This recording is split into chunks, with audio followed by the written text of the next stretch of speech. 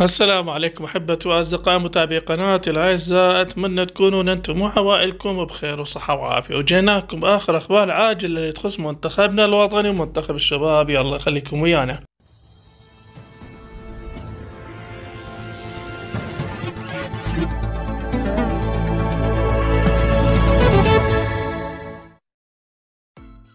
ما يحدث الآن في الاتحاد العراقي عبارة عن صراع بين كتلتين. نعم صراع بين كتلتين. الكتلة الأولى اللي تضم السيد رئيس اتحاد العراق عدنان درجال والسيد أحمد الموسوي.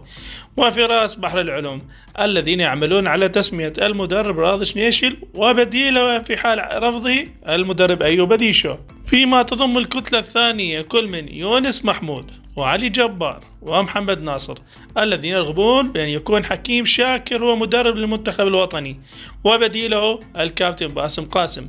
أما الأعضاء الآخرون فهم مثل المتفرجين ويترقبون جلسة الحاسم ولا صحة لأي اسم آخر من المدربين.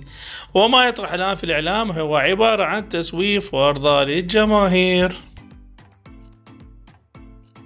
هذا وقد أكدت مصادر. أن الاتحاد العراقي لكرة القدم استقر على ترشيح اسمين محليين لقيادة منتخبنا الوطني في الاستحقاقات المقبلة.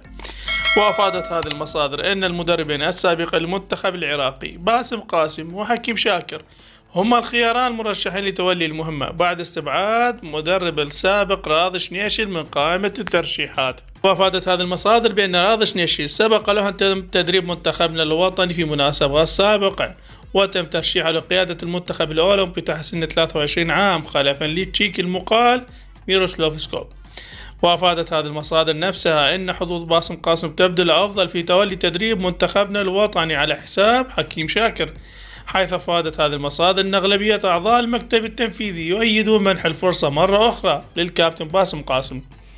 وكان باسم قاسم تجربة سابقة في قيادة منتخبنا بعام 2017 و 18 في تصفيات كأس العالم.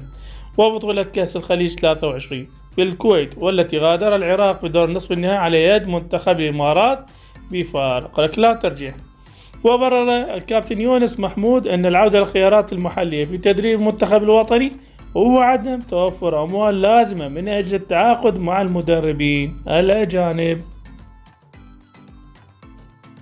جي على منتخب الشباب وتصريح الكابتن عماد محمد حيث قال إن الخسارة مع موريتانيا ليست نهاية العالم. المنتخب الموريتاني لعب مباراتين ودية مع تونس قبل البطولة حقق الانتصار في الأولى وتعادل في الأخرى. لعبنا مع منتخب بأعمار كبيرة جدا الفروقات كانت واضحة بين اللاعبين. لدينا خمسة لاعبين أساسيين يغيبون عن البطولة بسبب الإصابة وخمسة وتسعين بالمئة من لاعبين في المنتخب هم من دوري الشباب. وأعمل الآن على تحضير لاعبين بدنيا وفنيا تصفيات كأس آسيا التي ستقام في البصرة. هذه البطولة تعتبر أفضل استعداد لتصفيات آسيا من جميع النواحي كوننا لم نذهب إلى معسكرات خارجية. وإذ كانت الجماهير تبحث عن الإنجاز فقط فأنا قادر على تأسيس منتخب بأعمار غير حقيقية مثل منتخب موريتانيا. وماذا جنينا من المنتخبات السابقة التي كانت مليئة بالتزوير من أجل الإنجازات الوقتية. وأن التزوير في منتخبات الفئات العمرية أصاب منتخبنا الوطني الأول بمقتل. عملت بأمانة. منذ أول يوم استلامي مهمة تدريب المنتخب وأخذت عهدا على نفسي بإبعاد أي لاعب مزور. وأنا أطلب من الجماهير العراقية الآن الصبر على هذا المنتخب الذي سيقدم أكثر من عشرة لاعبين للمنتخبين الأولمبي والوطني. وفي الختام أؤكد لكم حاسبوني على النتائج بعد كأس آسيا منتخبات الشباب ولم أحقق الإنجاز فإني سوف أقدم استقالتي. فيما كان رد مدرب منتخب موريتانيا رد قاسي حول اتهامات الكابتن عماد على فريقه بالتزوير. الطالب المرابط قال بعض المدربين يخلقون الحجج عندما ينهزم فريقهم. وأكد للجميع أن جميع لاعبي موريتانيا هم بأعمار حقيقية. وأيضا تحت عمر عشرين عام.